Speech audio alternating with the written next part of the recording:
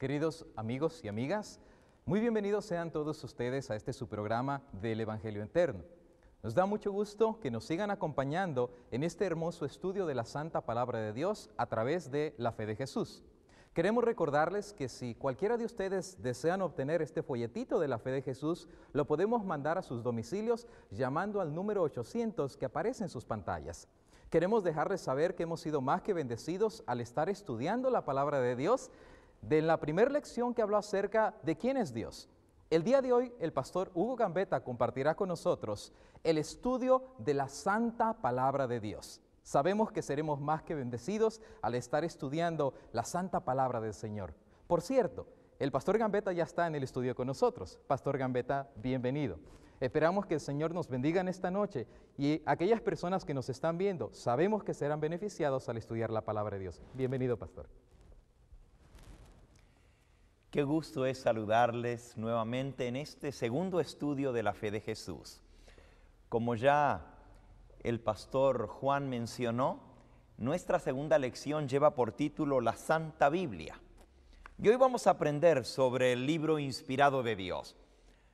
¿Quién escribió este libro? ¿Cuánto hace que se escribió? ¿Cómo nos llegó a nosotros? ¿En qué idioma se escribió? ¿Por qué, si lo escribieron los hombres, le llamamos la palabra de Dios?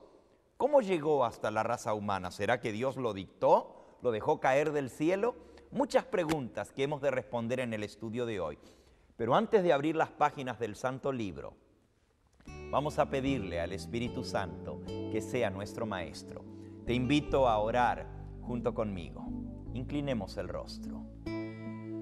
Amantísimo Padre y Dios, una vez más invocamos tu nombre, sabiendo que tú respondes nuestra oración si tú lo hacemos en el nombre de tu Hijo. Señor, en forma especial quiero pedirte en esta hora que bendigas a cada persona que está al alcance de mi voz, a todo aquel que en esta hora ha tomado este tiempo para apartar un momento a estar en comunión contigo. Que tu bendición nos alcance no solo a nosotros, sino también a nuestras familias.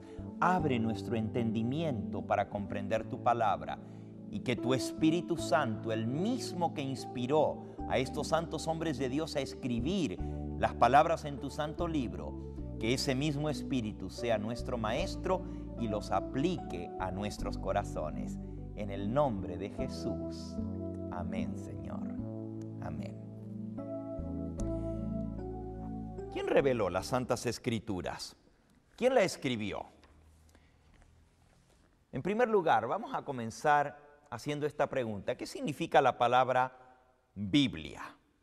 En verdad, el vocablo Biblia no es español, es un vocablo griego y está en plural, no en singular. En singular, biblos quiere decir libro. Biblia en plural significa libros o conjunto de libros. De, ahí, de allí viene nuestro vocablo en español, biblioteca, conjunto de libros.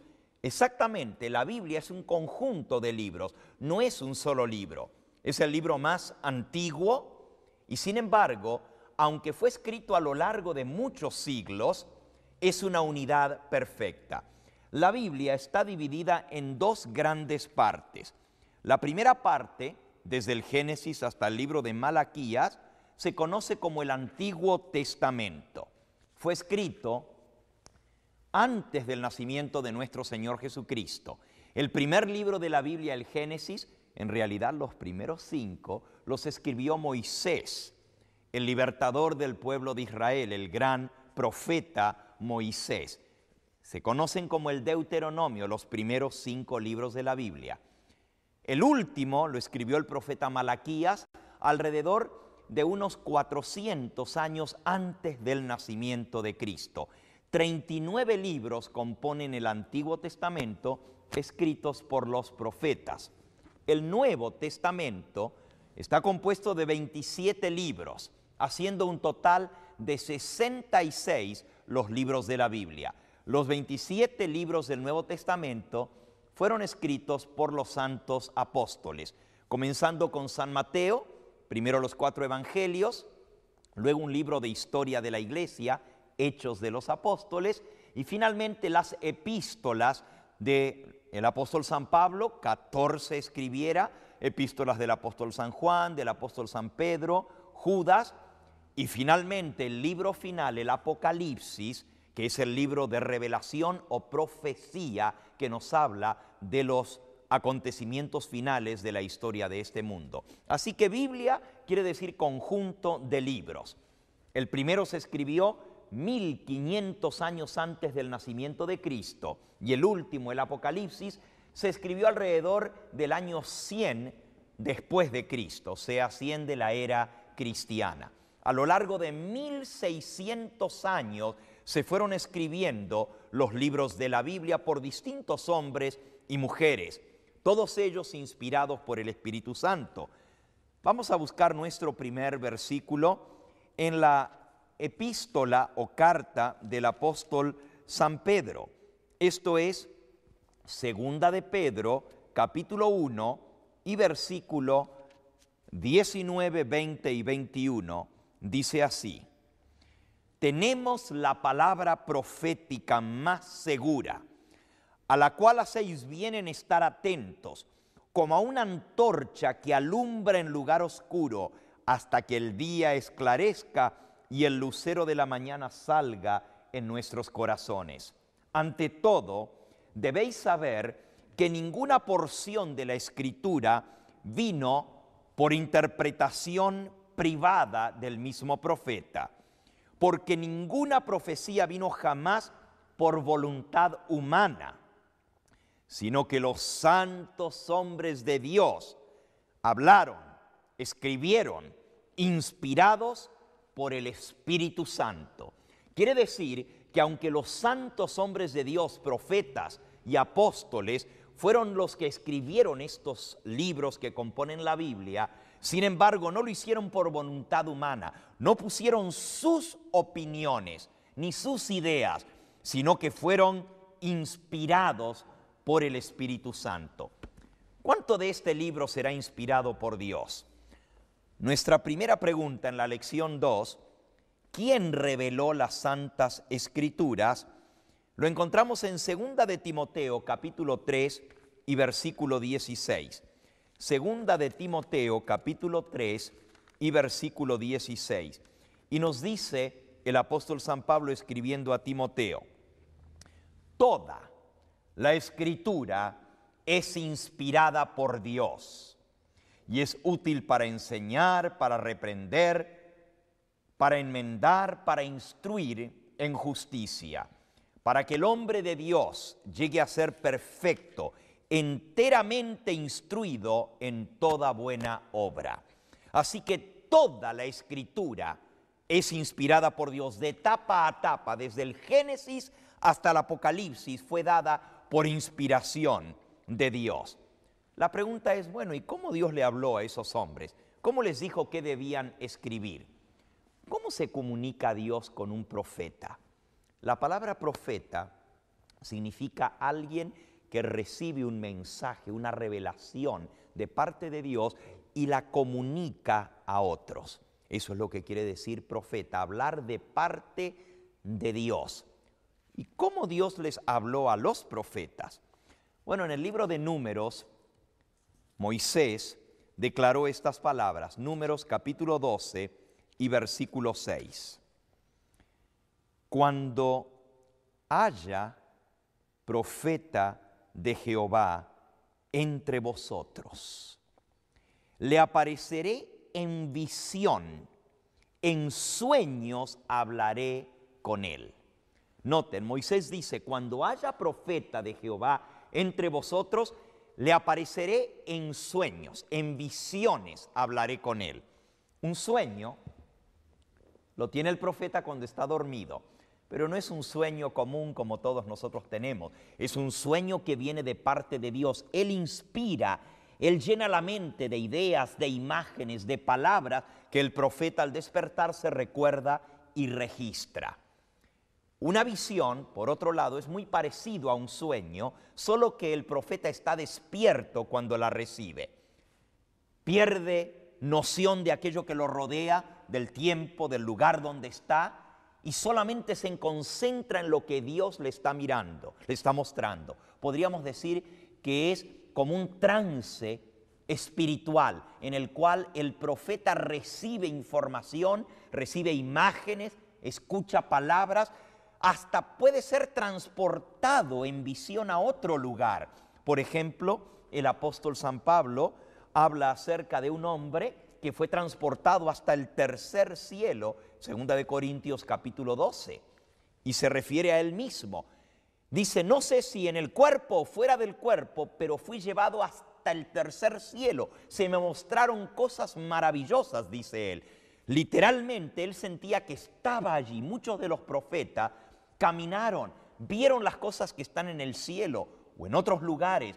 Dios les mostró eso y era como si ellos fueran parte de eso. Por ejemplo, el apóstol San Juan, estando en la isla de Patmos, en el mar Egeo, recibió la revelación que se conoce como el Apocalipsis o revelación de Jesucristo en el año 96 de la era cristiana.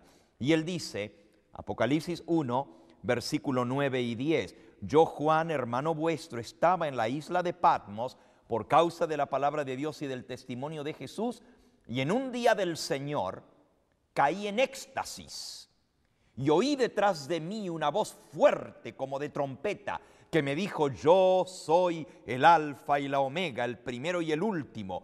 Escribe en un libro lo que ves y envíalo a las iglesias. Noten, Juan escuchó una voz y era tan real la voz del que le hablaba que se volteó, se dio vuelta para ver de dónde venía la voz del que le hablaba.